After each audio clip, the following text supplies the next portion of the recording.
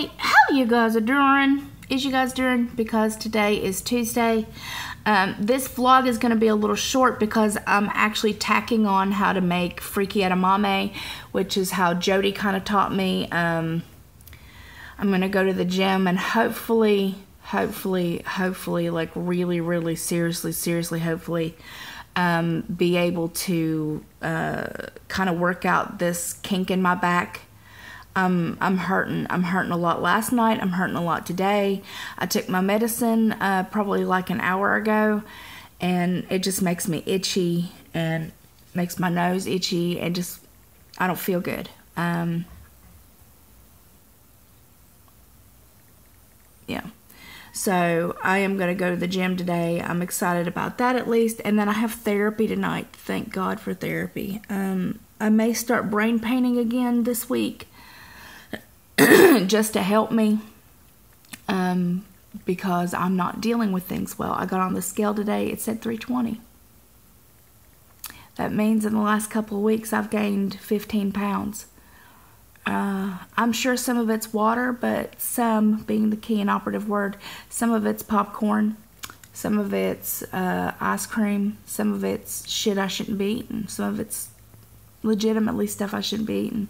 And I'm angry and I'm sad. I'm very, very sad about it. Um, I want nothing more than to make myself proud and get back to what I need to be doing. Um, but it's hard. And yesterday I did good. Today I'm going to do well. I'm drinking my water. I upped my water. Um, I upped my protein. I cut all the carbs I possibly could. I'm not having any bread. I'm not having nothing. So hopefully, um, you know, this this was enough to get my ass in gear. We'll see. All right, guys, I just wanted to come on here and say that I love your faces. I hope you like my recipe for uh, freaky edamame or just, you know, sauteed edamame with garlic, garlicky edamame. I don't know what you want to call it. Um, and I will talk to you guys very, very, very, very soon. Mwah. So I'm going to be making my edamame, and I get so many people who ask me how I do it. I thought this would kind of be the easiest way.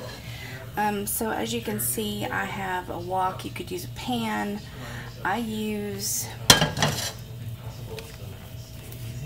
grapeseed oil. You could use avocado or whatever kind of oil you want. This is a really high heat time, so it doesn't smoke um, and it's full of lots of vitamin E and other good stuff for you so I like to use this one. And it's very neutral. So that means you don't really have to worry about a lot of um, taste. Like you know coconut oil kind of tastes like coconut etc etc so the next step would be frozen bag of edamame pods. So I get them in the pod. I've tried making them without the pods. No bueno I didn't like it. I used the entire package. It says to keep frozen. I'm going to open that up. Okay, and then you just dump them in there.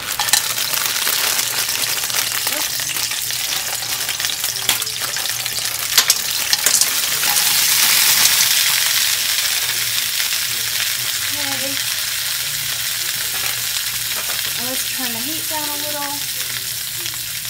And then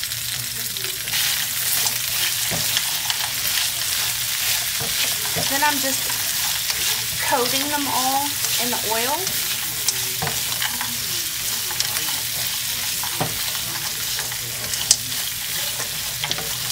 See, I'm just gonna put them all in the oil. I'm gonna end up putting about, I'm gonna say, maybe a fourth of a cup of water in the bottom of this just to help it steam them. You could put a top on. I usually don't. Um, you're going to need garlic. I'm going to use one and a half of these. I've chopped them up. You can either do it in a food processor. You can do it by hand. Um, these are whole cloves. I'm going to use one and a half of these because this has a lot of garlic in it when I use it. And then I use a lot of salt because remember you're salting the outside um, that's where you're going to get your flavor so I use pink Himalayan sea salt from Costco and then the last ingredient I use which is this uh, Shirashima pepper mix It's got like nori, sesame seeds. Um, Jody gave this to me. Like I said, I'm running out and I need to buy some on Amazon. I'll leave a link down below of exactly what that is and all the ingredients. So I'll see you in a few minutes. So pretty much, um, you're just sauteing them in the oil. And here's about a fourth of a cup of water. I'm just going to dump that in there. That will help it steam. Um, I'm turning the heat back up and I'm just gonna sit here for a while and stir them. These are done when the pods are really soft and not totally broken open. That means that they're still intact. That means it's gonna be a lot of trial and error. So my next step is just to use a ridiculous amount of your salt.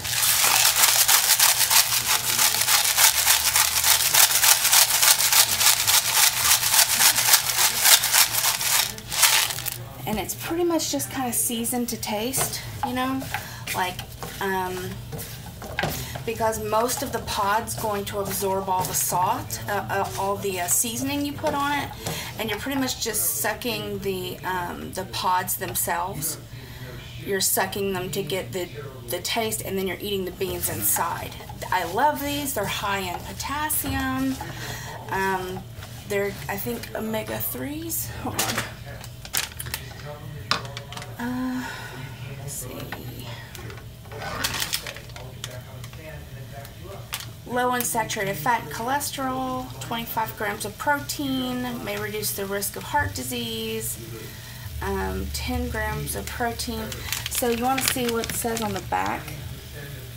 So for a half a cup, so there's a cup and a half worth, so three servings, oops, three servings are in this bag, three, six, nine grams of fat. Um, there is six carbs per serving. So for this entire bag, there's hold on. 18 carbs for the entire bag, um, three sugars, and then 30 grams of protein for the entire bag. So this is fantastic. It's got 10% of your iron, some vitamin C, um, and calcium. Like I said, the high in potassium, I think. High in something. Maybe I'm wrong about potassium. I know it's high in some. Um, negate that part unless I can figure it out, and then I'll tell you. I know it's high in something because people with thyroid conditions have to be careful with it because um, it can mess with your thyroid levels or something. So like I said, I turned the heat back up. Um, I've got the water in the bottom of the pan and I only put a fourth of a cup. Pretty much you're just wanting to steam these open and I'll see you guys in a few minutes. Okay, actually I used both packages. I am a garlic freak. I love garlic. This is a handy dandy little food chopper. See, it's got the little blade inside here and it has this turning kind of thing and without getting burnt. You just twist it like this, and it's chopping up all of the garlic in there. So I'm going to sit here and do that for a few minutes, and then I'll show you. Okay, if you can see, it's all chopped up now, and I'm going to be ready to add it. So we'll just take out the little stabby piece and dump those in there. I use a lot of garlic. I love garlic. I can't get enough of garlic. It's usually never garlicky enough for somebody like me. Um, sometimes my husband will eat this, um, but usually it's just all mine and I get three meals out of it. So this is kind of like my favoriteest thing ever. My husband's in there watching Silicon Valley without me. Want to get all that garlic out, girl.